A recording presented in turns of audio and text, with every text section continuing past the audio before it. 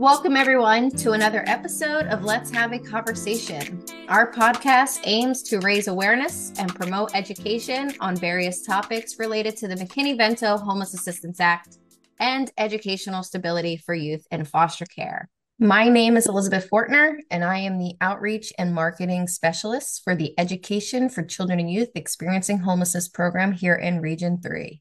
Today, I'd like to welcome our guest speaker for today's episode, Shelley Candy. She is with the Early Learning Resource Center. So, Shelley, I, I sincerely appreciate your willingness to participate in our podcast, and we are very thrilled to have someone of your expertise to join us and share insights about your work. So, let's get the conversation going. Can you just share a little bit about yourself and how you came to be with the ELRC? Well, Liz, great to be here. Thanks so much for having me. As you said, I am Shelley Candy and I'm the Community Engagement Manager for Community Connections for Children. And we are the Early Learning Resource Center. We serve Regions 9, which is Cumberland, Dauphin, Perry, um, and Lebanon County. And then we serve Region 10, which is York, Adams, and Lancaster County. I have been in the field for well over 30 years and have been an early learning director previously, my bachelor's in early elementary education and in Bible from Lancaster Bible College. So I have been directing child cares and then I came to our organization and worked in the Keystone Stars system, which is a rating system for child cares and worked with child care providers to ensure that we're having the highest levels of quality. A few years ago, I had the wonderful opportunity to expand and grow and always looking for those opportunities and became the community engagement manager. So my role with the ELRC is about building relationships. So I work with school districts, I work with United Way partners, I work with community partners any agency that might be working with a homeless population, we love to work with and build relationships with, and we are always looking for new connections. So that's part of who I am and where I come from, but working as part of the ELRC um, has been amazing. Thank you so much for sharing that. So, Shelley, to begin, can you share with us what the ELRC is? ELRC stands for Early Learning Resource Center. And a few years ago, the state decided to develop a system to provide a single point of contact for families, early learning service providers, and communities to gain information and access services that support high quality childcare and early learning programs. Through the administration of both the Child Care Works program, which is the subsidy childcare program, and the Keystone STARS program, the ELRCs create an enhanced resource and referral system for communities seeking early learning support and services. So that's a little bit about the ELRC.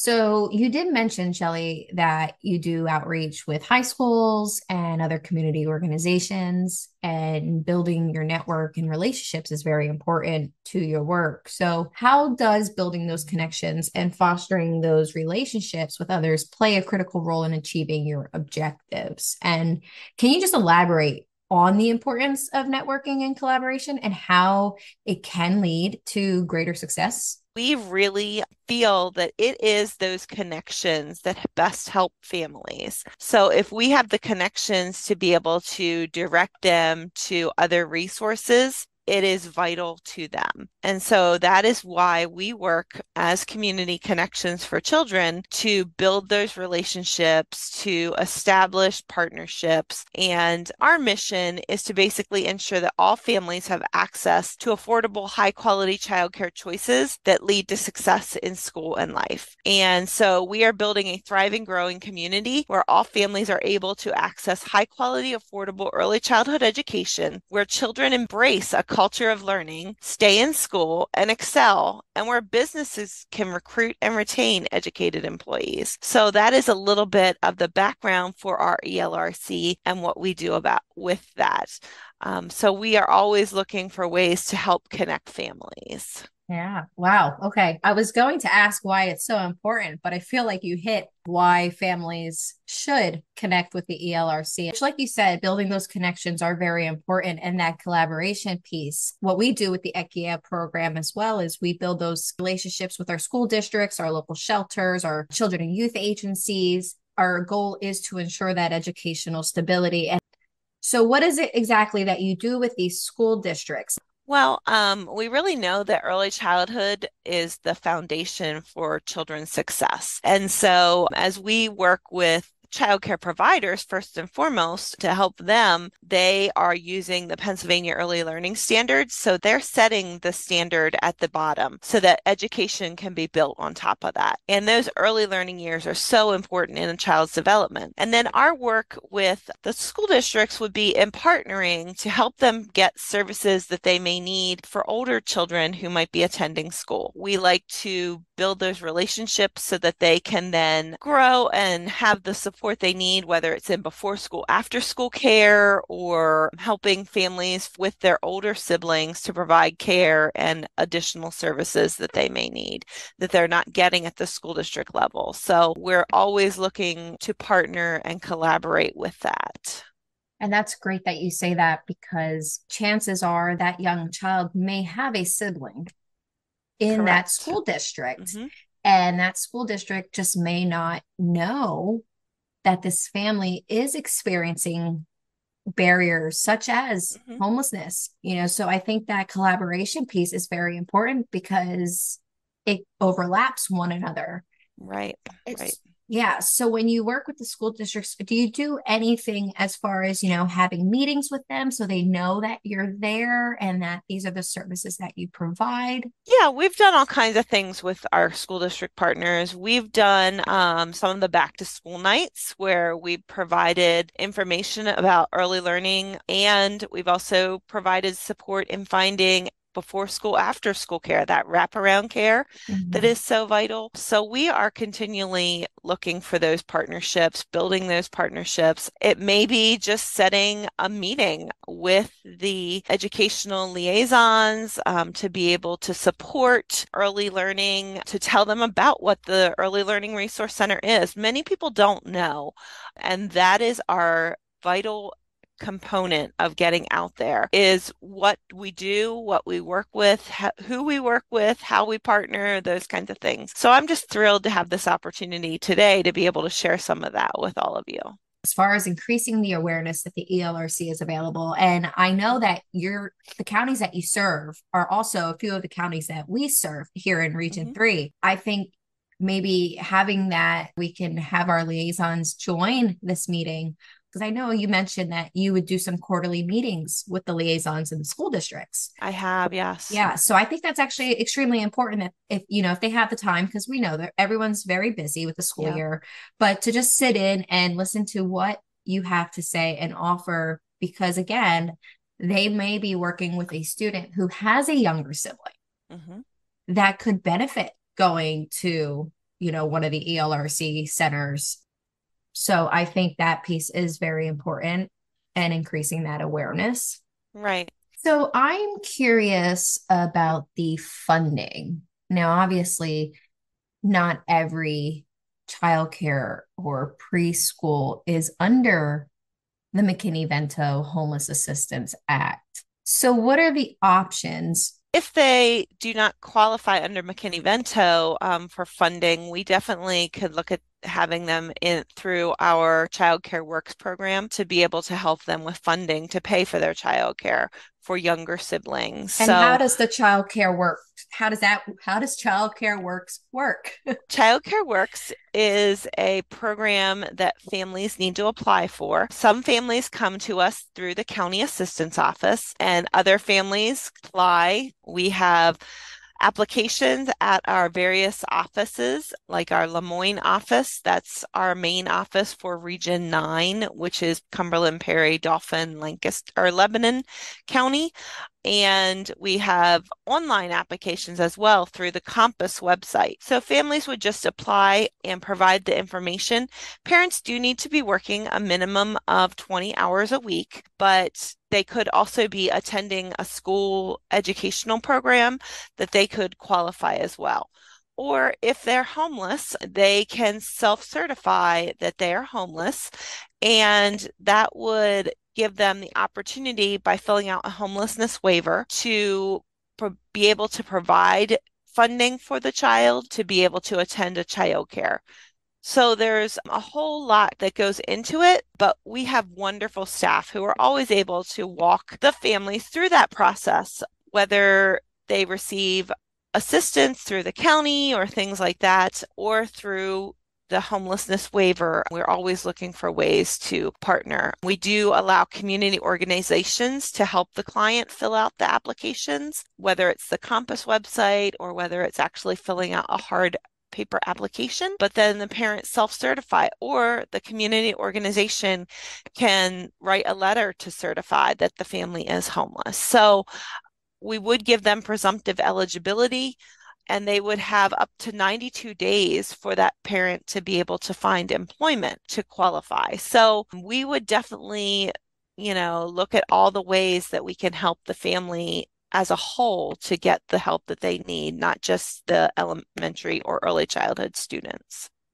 And I was going to ask you because I know you said they have to be working 20 hours a week, or at least in school, they have up to 92 days to look mm-hmm. for a job. They can self certify, and then that okay. would give them up to 92 days. Now, when you say self certify, do families typically identify themselves through a self certification, or are they more disclosing their information in an application or during the interview?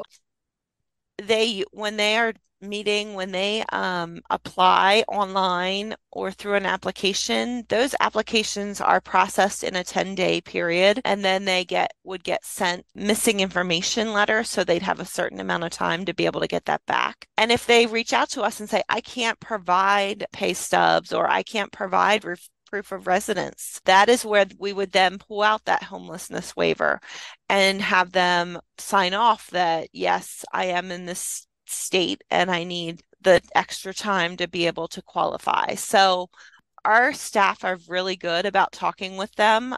We do have intake meetings with them. So we would be getting all of that information as they're involved in the program.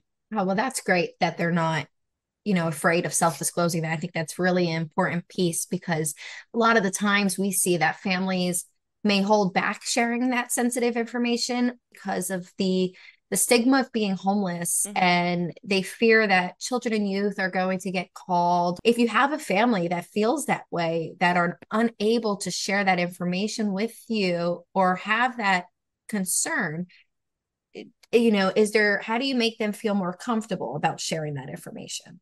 Well, all the work that we do is about building relationships. So, getting to know that family in their intake meetings is really important to us. And just seeing and asking the questions allows them the opportunity to share. Because in order to qualify they're going to have to prove that they're working. And if they can't prove that they're working then you know why aren't you working? What's your situation? That kind of thing. So we do do a lot of talking with them to get that information. But because families are trying to get childcare benefits or things like that, they tend to be more open to be able to get the support for their children. It shows their involvement in that.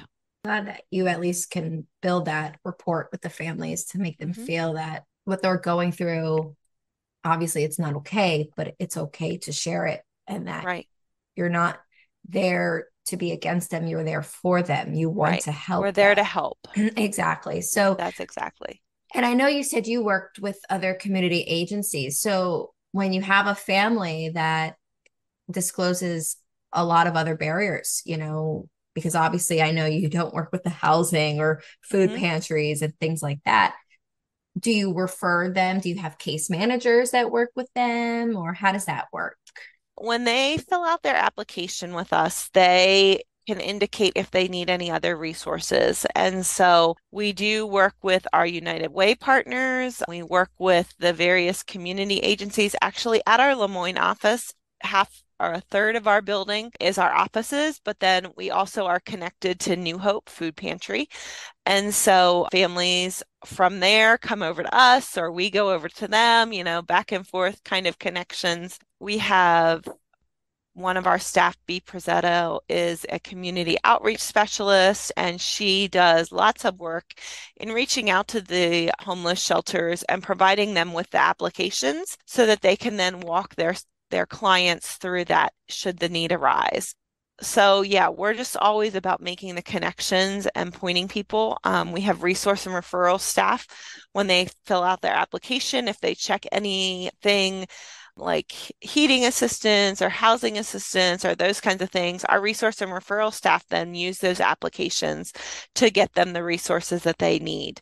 If they need child resources, we have those here at the office as well. So there's all kinds of resources that we have access to that we can connect them with.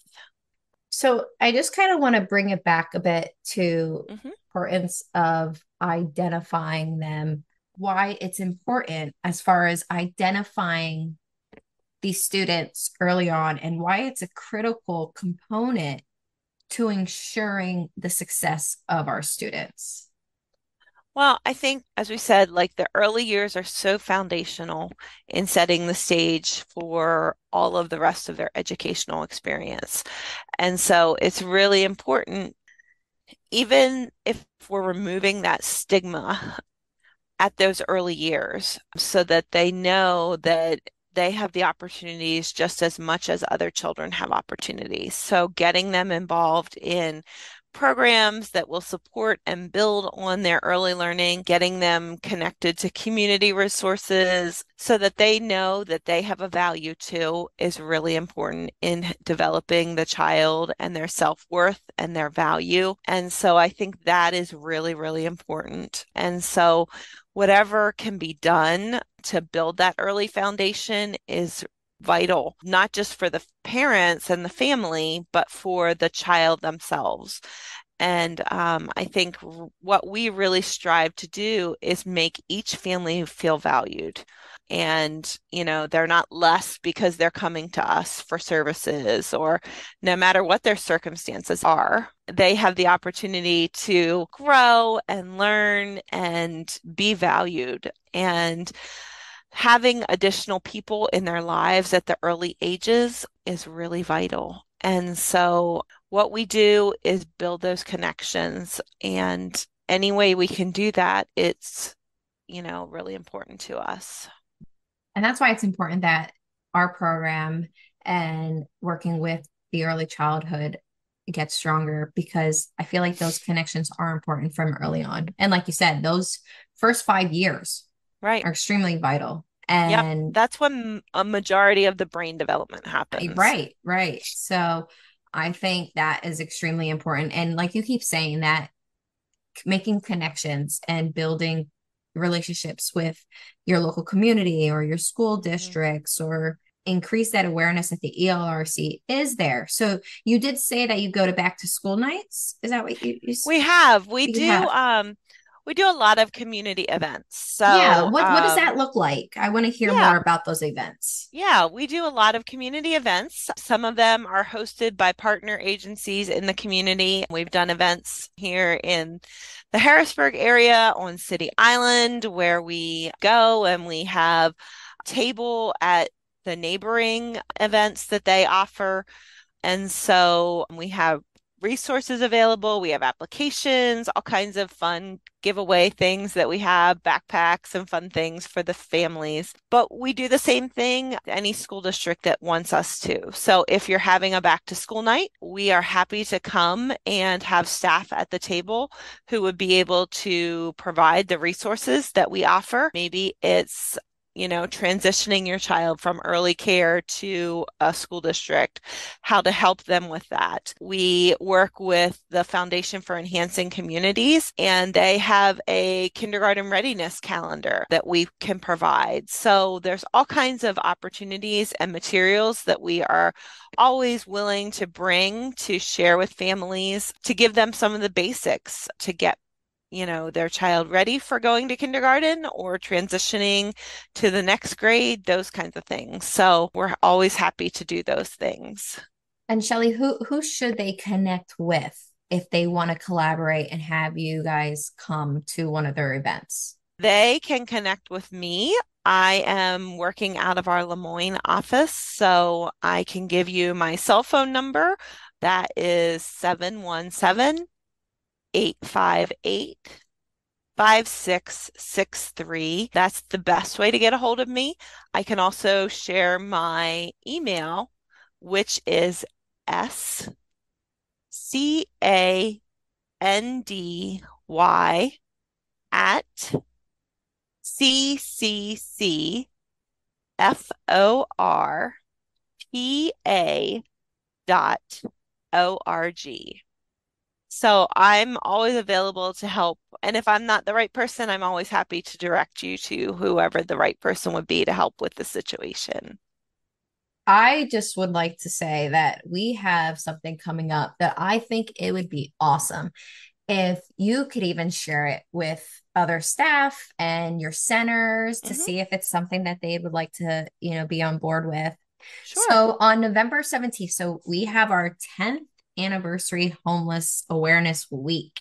Uh, It's 10 years, so it's a big one. And it's from November 13th to the 17th.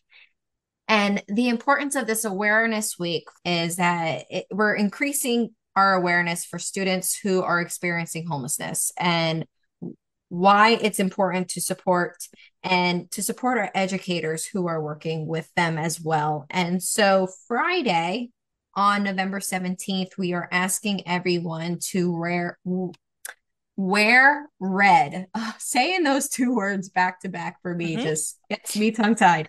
so we ask for you to wear a red shirt or something that's red and hashtag I will be your voice. You can hashtag red shirt day 2023 or you can hashtag let's have a conversation. So, Shelley, if you want to get other staff involved, like B and your other engagement workers or your other case managers, and take a picture of all of you wearing red, you can send it to me. We can post it on our ECYEH page on Great. What a great idea. Yeah. So I think that's pretty cool that we can at least um, share that with our early childhood and because our LEAs do it from our K to 12. I also have our, I did mention it to our higher ed group that when I was back in Hershey a few weeks ago, I did share that with a few of the universities and colleges in the area to see if they can get their staff and students on board. So I think it'd be cool to really get that stretched around um, and to see, you know, what what you guys can do as far as Yeah, I'd love to share that with our agency staff. Yeah, for sure. Um, so Shelley, do you have anything else that you feel it's important for our audience to know about the ELRC? Well, I would just say we are here. Reach out to us. Sometimes we are not always invited to the table or asked to be a part of things. Um, so I truly appreciate all your involvement, Liz, and just inviting us to be here today, even. But we're here to partner and to help. So please reach out to me. I'd love to be in touch with anyone from the school districts, even to share at a staff meeting or any other opportunities. It allows us the chance to give other people information about what we do. So anyone can reach out and I'd love to be able to share. Please use us. We are here to help. We are here to give guidance and just explain what the work that we do. So feel free to use us. Yes, absolutely use them because again, and I like to reiterate this, is that a lot of families too, a lot of their barriers could be finding childcare. Mhm. They can't go to work because they have a young child at home. So it makes it difficult. So if they don't know that this exists, we need to really increase the awareness that the ELRC is here. You have Child Care Works, which is the subsidy that will assist families in funding this, which Well, it depends. Um, based on income, um, every family has a copay. Sometimes that copay is actually zero dollars or five dollars a week. And then we pay a subsidy to the actual program. So the family has to pay their copay to the program and we pay the actual program. So yeah, it just depends on what their income level is and all of that. But Okay. are like five dollars a week up to, you know, 50, 60 dollars a week, depending on family size and all of that. Which is really not bad given what daycares cost. Is expensive, um, really but they're setting the groundwork um, Yes. for elementary school. They're setting the groundwork for child development. And so right now, our child development world is in a tough place with lack of spaces for childcare. We don't have a waiting list for funding, but many childcare programs actually have a waiting list um, to get into them. So childcare is at a premium right now. And unfortunately, some of them are our lowest paid workers. Mm. And so it's really important also to raise the awareness that our childcare workers are setting the stage for elementary years. And many of them have degrees and many of them have much experience to be able to make higher wages in the educational system, but they choose to set the standard at the lower level. So childcare is in crisis in a lot of ways right now because of the need for spaces that is out there. That's great to know. Connecting with school districts through collaboration can offer numerous benefits, it, including access to valuable resources, like Shelley mentioned, increasing that community engagement, which she emphasized the importance of, and that enhanced learning outcomes for students. Early childhood development and early identification are critical components of ensuring that success. And it's important that families understand the significance of these factors and families should also know that ELRC is here for you to help school districts to know, community agencies to know. If you have families who childcare is a barrier, please let them know that there is subsidy out out there for them. There is a homeless waiver for them. So, Shelley, I truly thank you for being a part of our conversation because we have yet to have someone from this level to join the podcast. Awesome. We, well, thank you. Absolutely. Like, I am so glad that you were able to come on and share this important information. I really do hope that families are listening and professionals are listening and that they start connecting with you. You did put your number and email out there. So um, That's fine. You never know. And thank you so much for being part of this conversation with me. And again, we aim to ensure that everyone's voice is heard, and it is an achievement that we can all be proud of. So we invite you all to join us again next month for another episode of Let's Have a Conversation.